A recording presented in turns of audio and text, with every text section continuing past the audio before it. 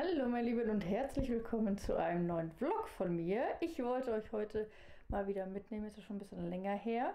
Und ich dachte, ich nehme euch heute mit zu meinen Schwestern, denn ja, wir äh, haben heute mal wieder so einen kleinen Mädelstag. Wir haben es jetzt halb neun, glaube ich. Und Lia ist gerade noch am Frühstücken. Ich habe meine Tabletten genommen, wir sind soweit beide fertig. Und wenn Lia jetzt aufgegessen hat, werden wir auch direkt losdüsen. Das ist übrigens der erste Vlog hier mit der neuen Kamera. Ich hoffe, es passt alles. Ich muss mich noch so ein bisschen einspielen, aber ich denke, das versteht ihr. genau. So, ich bin auf jeden Fall fertig gemacht. Wir starten morgen in die 27. Äh, Woche. Es geht so krass schnell, diese Schwangerschaft. Echt Wahnsinn. Also, ich habe irgendwie das Gefühl, sie verfliegt nur so.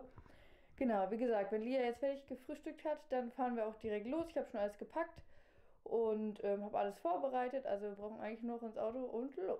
Hier seht ihr auch noch mein kleines Bauch-Update.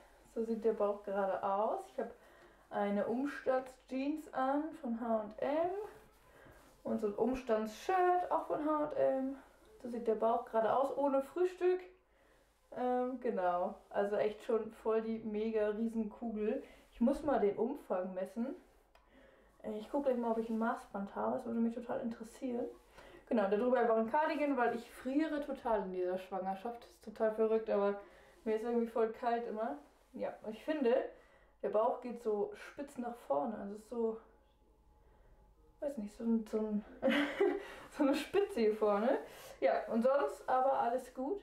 Baby ist richtig kräftig aktiv und ähm, ja, gibt Bescheid, wenn sie wach ist. Und ich stecke natürlich voll in Vorbereitung für das Baby. Hier stehen die Kisten, die eigentlich immer da oben stehen, wieder auf dem Boden, weil, ähm, ja, ich wieder alles durchsortiert habe und äh, irgendwie jeden Tag da am Umräumen bin und äh, ja, Nestbau, Nestbautrieb lässt grüßen und ähm, ich habe super, super schöne Sachen bei Vinted gekauft für die kleine Babymaus, weil ich hatte ja fast gar nichts Rosanes mehr und ich wollte schon so ein bisschen rosa, wenn man denn doch ein Mädchen bekommt. Ähm, und da sind echt richtig schöne Sachen dabei. Also hier seht ihr so einen kleinen Einblick. richtig süße Bodies. Die meisten Sachen sind aber schon ein bisschen größer, aber hier habe ich noch ein paar kleine Sachen. 50er Bodies. So richtig, richtig mini. Echt Wahnsinn. Aber die 50er Bodies hat Lia so lange getragen und ich hatte viel zu wenig, weil Lia ja so ein richtiges Spuckbaby war und ich hatte einfach viel zu wenig. Deswegen habe ich diesmal ein bisschen aufgestockt. Wie viel ich genau habe, weiß ich gar nicht, aber das werde ich auch mal jetzt die nächsten Tage durchgehen und dann mal gucken. Ähm, ja, aber brauchen tun wir definitiv nichts mehr. hier seht ihr das nochmal. Also das hier sind diese ganz kleinen Bodies. Ich finde das so niedlich. Richtig, richtig süß. Und hier habe ich auch noch was für Lia, noch was Neues. Und hier sind noch mehr kleine Bodies. Stehe ich ja total, drauf. Hier zum Beispiel auf diese gerippten. Das ist so niedlich, ne? Schaut mal. Ein bisschen gerippt. Richtig schön. Auch schon in 56.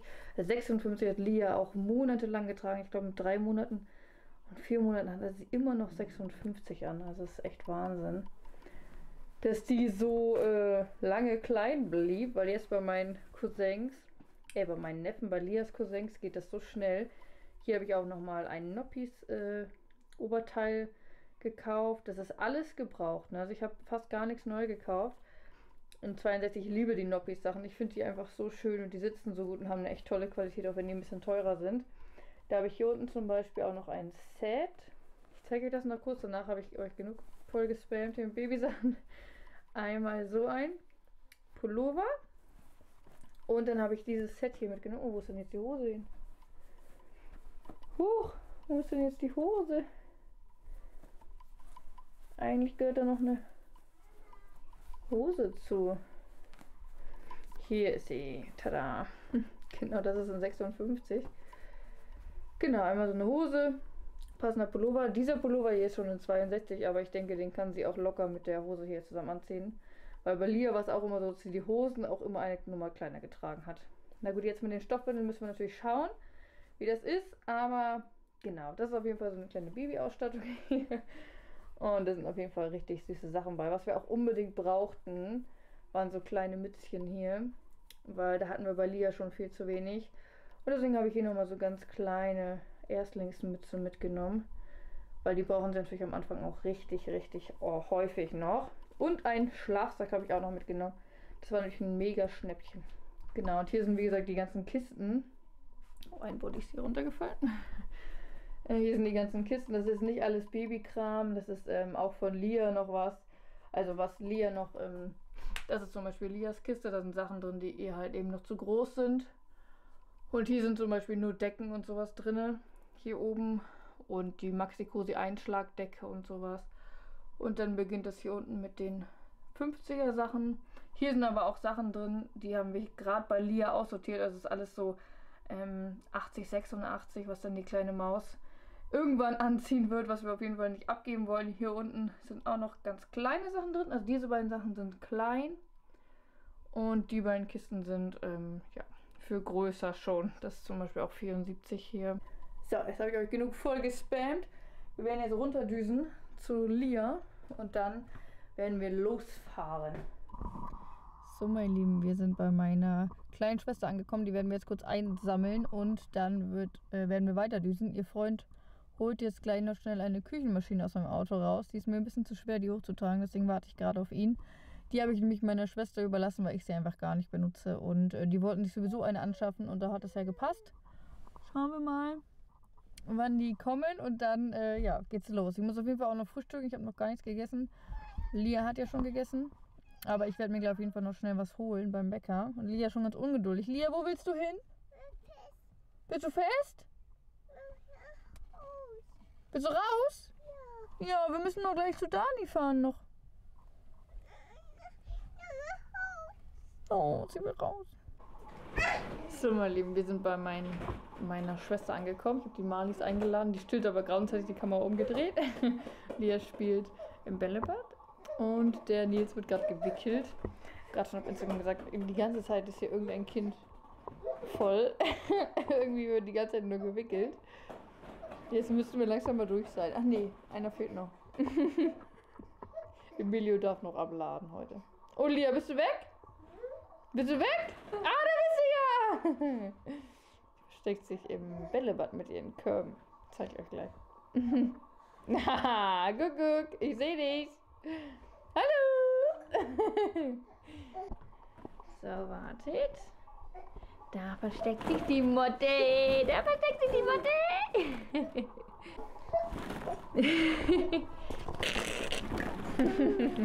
Mit den Körben hier drin hast du gar keinen Platz mehr, Schatz.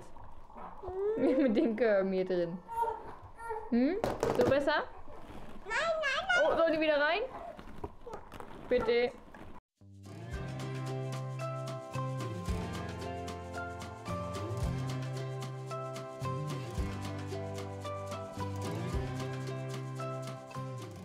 So, mein Lieben, wir haben den nächsten Tag. Es ist Samstag bei uns und wir sind heute zum Geburtstag eingeladen. Aber den Vormittag wollte ich noch äh, verbringen und euch erstens mitnehmen und zweitens meine To-Do-Liste natürlich wieder abarbeiten. Da steht wieder einiges an. Aber ich nehme euch da mit. Und äh, genau, die Kleine schläft noch. Total komisch, ähm, weil wir haben schon gleich 9 Uhr. Ich bin mega erschrocken und ja, warte jetzt eigentlich nur die ganze Zeit und fange so langsam an, mal ein paar Sachen zu erledigen. Ähm, natürlich nichts Großes, weil wenn sie wach wird, dann wird sie weinen, das weiß ich, weil ich nicht mehr da bin. Und dementsprechend, ähm, ja, möchte ich jetzt nichts Großes anfangen. Aber ein paar Kleinigkeiten erledige ich schon. Ich habe gerade ähm, ein Babybauchfoto gemacht für die 26. Woche, denn heute ist Start in die 27. Woche. Und genau, dann mache ich einmal ein Foto für Instagram. Bei Instagram könnt ihr übrigens gerne vorbeischauen. Ist immer in der Infobox verlinkt. Genau, und dann habe ich mich jetzt gerade fertig gemacht, angezogen und alles. Und warte auf die Kleine, dass wir frühstücken können, weil ich habe schon echt Hunger. Ich habe meine Tabletten auch schon genommen. Und ich wollte euch noch was richtig Süßes zeigen. Das habe ich gerade schon auf Instagram gezeigt. Ähm, ich bin so verliebt. Das ist so, so süß. Und für die Kleine habe ich auch noch etwas, was ich euch zeigen wollte. Und das habe ich jetzt ähm, gerade schon rausgesucht. Das wird ihr heutiges Outfit. Ich freue mich schon die ganze Zeit, bis ich es endlich anziehen kann. Und zwar diesen süßen Overall hier. Ich bin so verliebt. Der hat so richtig lange Bündchen. Also die kann man so krempeln. Richtig schön. Und Täschchen. Und das Allerbeste ist diese Mütze hier mit den Öhrchen und mit den Punkten. Und auf der Rückseite sind auch noch ein paar Punkte, so ein paar Rehpunkte. Ich bin so verliebt, das ist so süß. Der sind 62, 68, also jetzt für die kleine Maus für den Winter, Frühling nachher. Und innen habe ich mich hier für so ein richtig schönes Futter entschieden. Das kann man natürlich alles selber wählen. Aber ich fand das hier total süß und total passend zu dem Reh. Richtig süß, oder? Ich verlinke euch das in der Infobox. Das ist nämlich ein richtig cooler Shop. Und zwar ist es ein Shop, wo ganz, ganz viele Handmade-Shops ähm, zusammen sind. Also es sind ganz, ganz viele Mamas, die haben selber ihre kleinen Instagram-Shops. Und bei Kinderfloh sind die alle sozusagen zusammen. Und ihr könnt also bei ganz vielen verschiedenen Mamas bestellen auf einmal. Richtig, richtig coole Idee finde ich das. Und als ich das gesehen habe, war ich mega überrascht. Also da könnt ihr auf jeden Fall vorbeischauen. Diesen äh, Shop mit dem Overall verlinke ich euch natürlich auch einzeln in der Infobox, damit ihr da auch nochmal vorbeischauen könnt. Aber schaut auf jeden Fall mal bei Kinderfloh vorbei, weil wie gesagt, da sind eben alle Shops äh, zusammen vertreten. Ich finde das ein mega cooles System, denn dann kann man eben bei mehreren Handmade-Shops auf einmal bestellen und das ist halt immer nur eine Bestellung und nicht da bestelle ich das und da bestelle ich das und ähm, ja, mega cool und ähm, wusste gar nicht, dass es sowas gibt. Also ich war total überrascht und ähm, bin mehr als zufrieden, dass ich das entdeckt habe, denn Lias Pullover, den sie heute anbekommen hat, ist von einem anderen Shop, von einer anderen Mama genäht, aber eben auch von Kinderfloh. Also ich finde das System mega cool.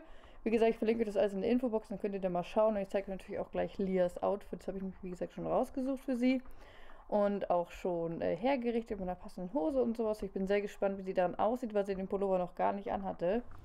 Aber ich denke, das würde richtig süß aussehen. Und hier seht ihr, es kam richtig viel Post gestern noch an. Hier seht ihr das. Aber gestern Abend hatten wir einfach gar keine Zeit mehr, das auszupacken, als wir wiedergekommen sind. Und dementsprechend steht das hier alles noch. Aber ich packe es noch nicht aus, weil Lia freut sich immer mega auf Post. Und ähm, genau, deswegen warte ich da, bis sie wach ist. Und dann packen wir das hier zusammen aus. Da sind bestimmt auch noch ein paar Babysachen bei von Vinted. Da warte ich nämlich noch auf einige Sachen und dann zeige ich euch da auch noch was, was da drin ist. Hier liegt meine To-Do-Liste, was ich noch so zu tun habe.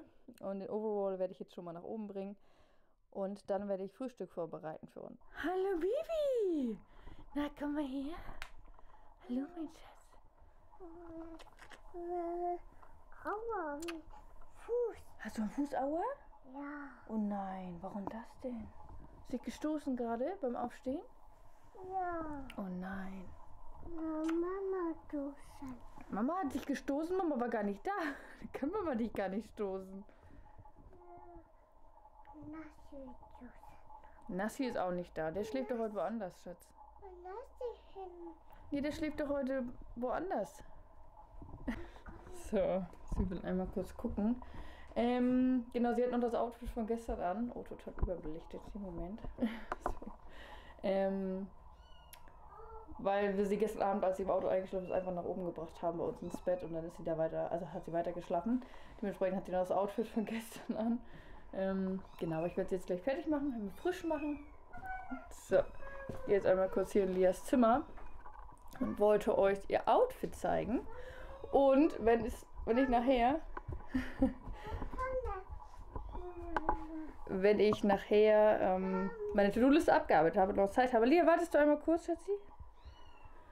Dann wollte ich noch die Babysachen äh, durchgehen und zwar so die Kisten packen, die stehen ja hier noch, ähm, dass sie wieder auf den Schrank können. Das können sie nämlich gerade noch nicht, weil erstens liegt ja ganz viel oben drauf. Zweitens steht unten noch ganz, ganz viele Vintage-Pakete, habt ihr ja gerade gesehen. Ähm, und da muss ich einmal alles durchgucken, was wir jetzt an Babysachen haben und ja, Deswegen, ähm, genau, wollte ich das einmal alles durchgehen, nachher alles sortieren und dann kann Felix die heute Abend wieder oben auf den Schrank tun. Dann ist das nämlich schon mal abgehakt, dann habe ich so die Baby-Erstausstattung ähm, fertig sozusagen. Und genau, jetzt werde ich erstmal Lia umziehen und wickeln. Die Windel stinkt nämlich. So, ich wollte euch mal das Outfit zeigen. Kleine Maus hat nämlich diesen Pullover hier neu. Und der ist eben auch wieder von einer Mama genäht, wie gesagt, aber kommt von Kinderfloh. Der ist nämlich von Villa Knuddelbund. Aber wie gesagt, ich verlinke euch das in der Infobox. Der ist auch richtig süß, hier mit dem Regenbogen.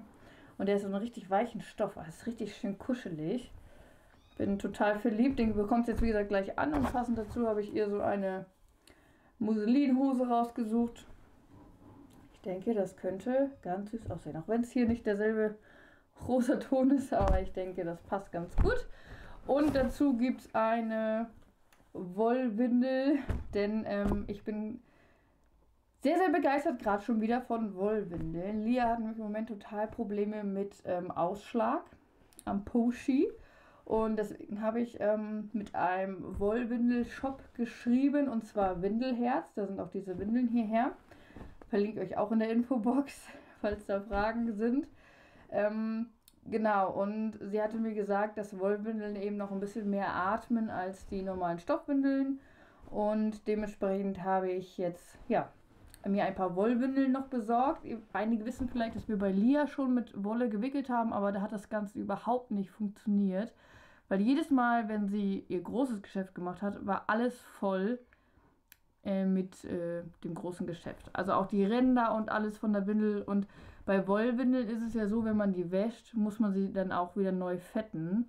Und das ist ein mega Aufwand äh, immer gewesen, weil man nach einmal tragen halt die komplette Windel waschen muss. Und das ist ja auch nicht so gut für die Wollwindeln. Aber jetzt klappt es richtig gut. Also ich musste noch keine Windel waschen wegen Stuhlgang. Also mega, mega gut. Und ähm, am Poshi wird es auch schon besser. Genau. Und deswegen wickeln wir jetzt ganz, ganz viel mit Wolle. Das Problem bei den Wollwindeln ist, dass die bei Lia nicht so lange halten. Ähm, also nach zwei Stunden ist da Schluss, da muss gewickelt werden und eine normale Stoffwindel hält bei Lia schon an die vier Stunden. Und genau, da muss man halt eben darauf achten, dass man da immer regelmäßig wäscht, äh, wechselt. Ähm, bei denen ist jetzt auch noch das Problem, dass die noch neu sind und ich habe die jetzt zweimal gefettet, aber so richtig dicht sind die noch nicht. Aber das äh, ändert sich halt beim nächsten Mal fetten auf jeden Fall noch. Und dann halten sie vielleicht auch ein bisschen länger und man muss sich da auch noch so ein bisschen reinfuchsen, was so die Einlagen betrifft. Also ich habe jetzt hier zwei Einlagen drin, weil die einfach am besten da reinpassen. Aber da können natürlich auch Prefolds rein und Prefolds saugen auch wieder mehr. Da muss man sich wieder reinfuchsen. Das ist so ein Thema. Aber ich habe ähm, mir auf jeden Fall noch ein paar Wollwindeln bestellt. Und auch für Baby Nummer 2 habe ich schon ein paar in der Newborn-Größe. Da bin ich sehr gespannt, weil da ist der Muttermilchstuhl ja richtig flüssig. Mal gucken, wie das da sein wird. Aber sonst an sich bin ich von dem System Wollwindeln wirklich mega begeistert. Genau, das wollte ich euch nur kurz einmal sagen. Und genau, die Windel bekommt sie eben gleich an. Das habe ich ja auch schon als hergerichtet. Und dann werde ich sie jetzt mal umziehen und fertig machen für den Tag. Und dann unbedingt frühstücken, weil mein Magen knurrt die ganze Zeit schon. Und hier unten wartet auch noch ein äh, Korb Wäsche. Und eine Waschmaschine muss ich auch unbedingt noch anmachen. Also heute seht ihr, der Tag ist voll obwohl ich nur einen halben Tag habe, aber die Waschmaschine läuft ja alleine sozusagen. Das ist für mich immer keine Arbeit, die kurz voll zu machen und dann läuft die alleine. Ja, so, jetzt würde ich sagen, sammle ich mein Kind mal schnell ein, die ist im Bad und dann, äh, ja, geht's los. Hier sind wir zu Hause. Wir hatten einen sehr stressigen Vormittag, nämlich, ähm, nämlich habe ich die ganzen Sachen von Vinted, die wir, ähm, die ich verkauft habe, ähm, eingepackt ähm, und jetzt verschickt auch noch. Und da die Post am Wochenende ja nur bis 12 Uhr auf hat, ja, habe ich ganz schön Stress gehabt.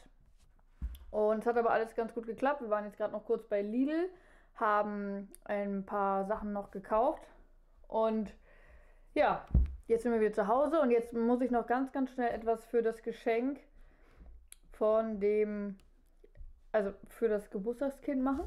Und dann, ähm, ja, muss ich noch ganz kurz eine Sache von meiner To-Do-Liste machen. Und dann können wir zum Geburtstag fahren. Und dann müssen wir auch schon zum Geburtstag fahren, weil dann ist auch schon Zeit zum Geburtstag zu fahren. Genau, jetzt mache ich das hier kurz fertig am Laptop, was ich noch machen muss. Und dann, ja, geht es an meine To-Do-Liste weiter. Wir essen jetzt. Gibt einfach ganz schnell Hühnerfrikassee und dann fahren wir los.